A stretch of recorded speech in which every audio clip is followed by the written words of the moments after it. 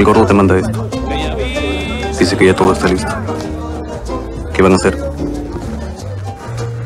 El miércoles como a las 3, métete al baño a cagar.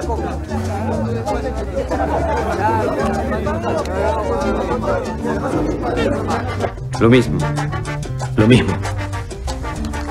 Arregla con el guardia. Tal esto, dile que el resto se lo vamos a dar ese día. No se vaya a poner pendejo y después no aparece.